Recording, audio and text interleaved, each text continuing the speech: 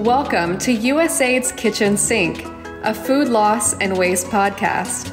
I'm your producer, Nika Larian.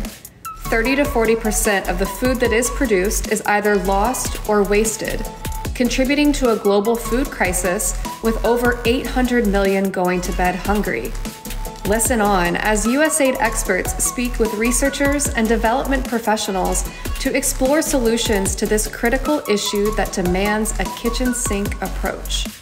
When it comes to climate, food security, and food system sustainability, we have no time to waste.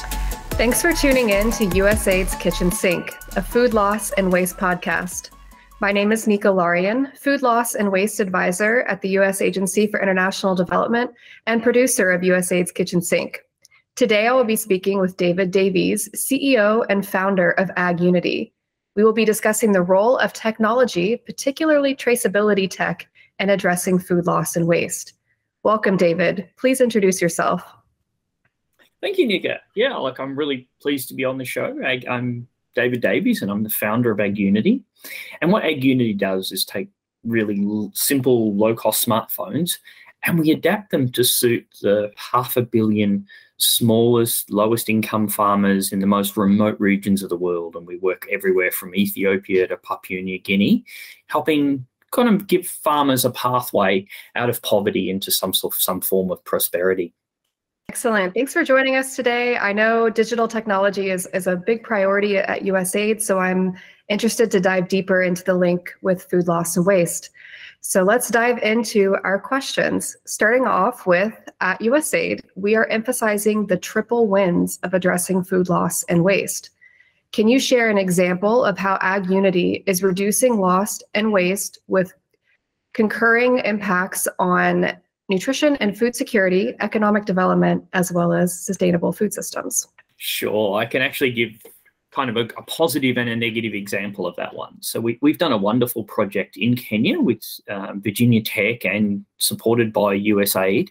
And the whole point of that project was to help the local farmers who are producing, you know, traditional African indigenous vegetables to get them into the city. Because what's happened is as cities like Nairobi have grown bigger and bigger, the people that used to eat those very nutritious and healthy foods can't get them anymore. They, they don't get to the right markets or they don't get into the supermarket chains. And so we ran a project that just enabled the really smallholder farmers, and I mean, these are farmers with like an acre of land. We enabled them to produce, uh, to, to be able to record what they had and what was so interesting about that is the supply chains just solved themselves. Once the information was there, people were like getting those to the right markets where they knew people were selling them. People in the city were buying these vegetables that they possibly hadn't eaten in years, which are infinitely more nutritious. The farmers made a lot more money, but then something really fantastic happened. The farmers actually discovered that there was premium and normal grades of these produce. And previously, they were just producing it as quickly and easily as they could. Suddenly, they found out they could get 50% more if they produced really high grade vegetables. And within almost immediately, all they were doing is producing the high grade vegetables, which are much easier to sell, spoil less. And so, what happens is when you've got like a, a continuous data flowing through the supply chain, problems tend to solve themselves. And this is what, what's so interesting about this is uh, AgUnity's done projects in developed markets where we've done similar sorts of traceability, you know, from farm to fork solutions. And in the really low income farmers, we've kind of left them behind. We're solving this all in the developed world, but our very low income farmers, they produce food for over half the world and we can't like forget about them. So we need to have systems that work for them as well. So I was also recently in Ethiopia, and I, I kind of saw the tragic reversal of this situation. We we work on a number of projects in Ethiopia with coffee, mostly with coffee farmers, and we were around Addis, by the, the, the capital city in in in Ethiopia, and we noticed that like in a restaurant there was a mural of like beautiful scenery looking out where the restaurant was and it was all like diverse farms growing local vegetables. And we went and spoke to the farmers, and, and they said that look, they can't grow local vegetables anymore. Almost that whole landscape that we could see from the restaurant from a decade ago had now turned into grain crops. And that's because noodles and rice are cheaper in the, the markets than the really good food that farmers could be producing. And instead of you know Ethiopians relying on their own production, they're buying packeted noodles that have come in from overseas, which are vastly different in nutrition. And again, I think it's a similar problem to Kenya. I think if you give them digital technology and basic traceability, those crops will be getting into. The farmers will be making good money. The people will be eating healthier. Um, so it's a win-win for everyone. Basically, this this is very possible. Definitely, the role of those traditional markets cannot be understated in low and middle income countries. So we really want to make sure that the the availability and access to safe and nutritious food is is abundant in those markets, and it's not going to waste. So moving on to our next question, what is the opportunity for traceability technology in reducing food loss and waste? Yeah, fortunately, we've had a number of forays into this, and traceability is critical. Like we, you know, we work all over the world in developing communities, and it would stagger you the amount of food that just goes to waste. Um, I would, we work in cacao a lot, um, choc for chocolate, and of the very smallholder farmers, I'd reckon, estimate that at least half of it never gets to market. Um, there's systemic supply chain inabilities there. But then also, once it gets into the supply chain in things like coffee and cocoa, and, and particularly the smaller project, you see an incredible amount of waste. The problem is the people buying those produce don't know necessarily know when it's come from. And so there's no way to fix the problems. And as we saw in Kenya, those problems are easy to fix with just, you know, a little bit of the reward coming the right way. But what you need is a very, very open system. Um, there's lots of solutions around traceability out there, probably hundreds of different companies doing it, but they all tend to be kind of bespoke and lock in the customer. Like, you know, I'm gonna, you're gonna use our devices, and we'll sell you the data. I'm very, you know, one of the fortunate things is I used to work in investment banking and Goldman Sachs and Lehman and others, and I, I was a global head of market data. And rather than trying to reinvent the wheel for the food industry, one way of looking at this is look at who else has solved it. And interestingly, in banking, Bloomberg and firstly Telerate and then Reuters and Bloomberg have solved this problem very efficiently. The need is not so much to have a solution, like there's tons of IT devices.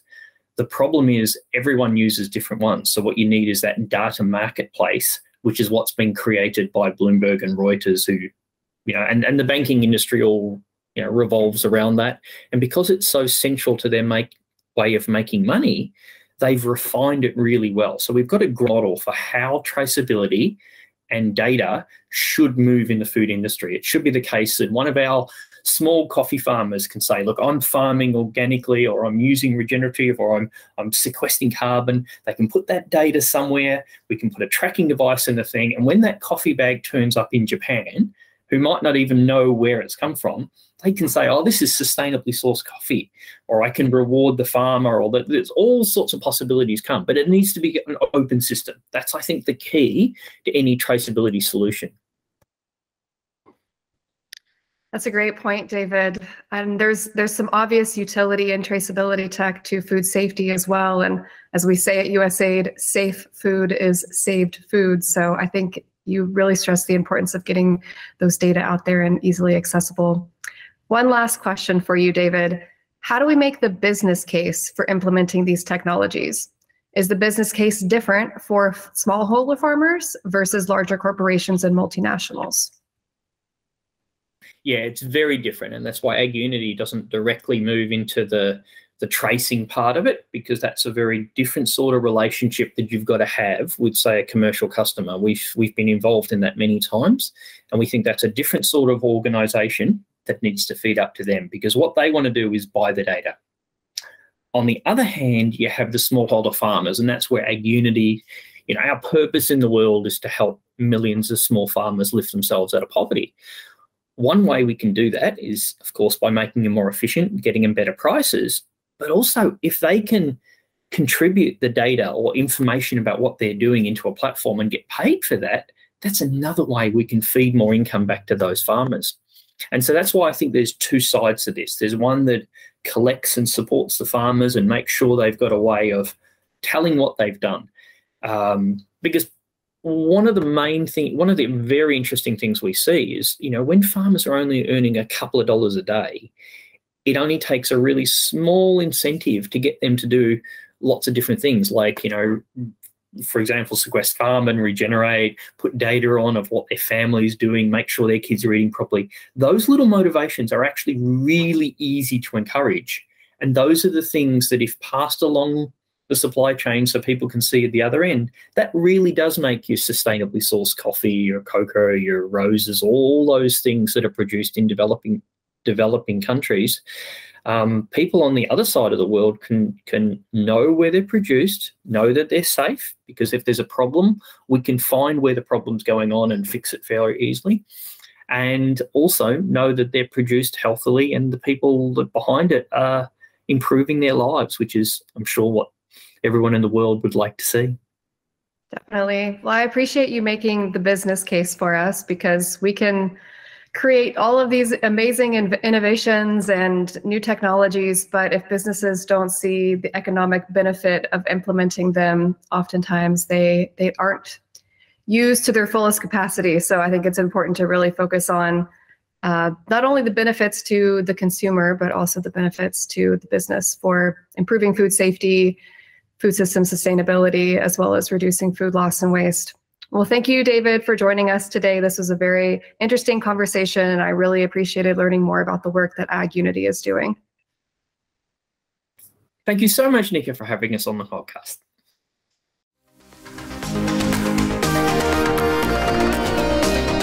Thank you for tuning in to USAID's Kitchen Sink. This podcast was produced by Nika Larian and is organized by the USAID Food Loss and Waste Community of Practice co chairs Ahmed Kablan and Ann Vaughn. Additional thanks goes to Feed the Future, the U.S. government's global food security initiative, and the USAID Center for Nutrition.